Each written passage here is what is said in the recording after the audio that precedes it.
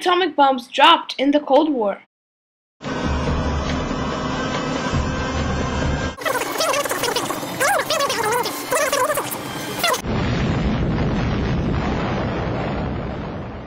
So first of all, what is an atomic bomb?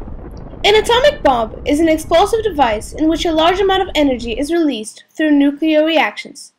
This makes an atomic bomb more properly called a nuclear weapon, a much more powerful device than any conventional bomb containing chemical explosives.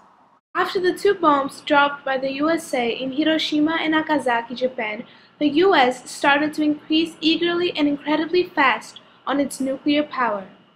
After the end of World War II, the Soviet Union started to realize that their perceived enemy, in economical and political terms, had a big weapon, so they got a bigger one and the nuclear arms race began.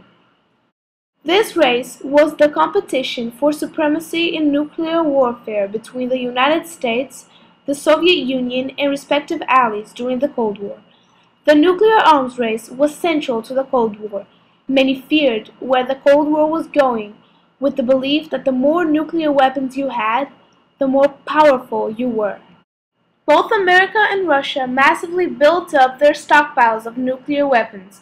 Eventually, the nuclear arsenals were so big, US and USSR agreed on a strategy called MAD, Mutually Assured Destruction.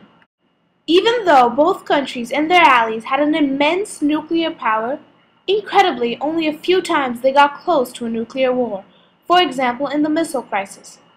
It is possible that the sheer power of these weapons and the fear that they evoked may have stopped a nuclear war.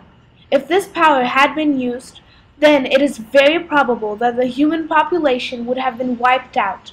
The Cold War could have led to the destruction of the human species.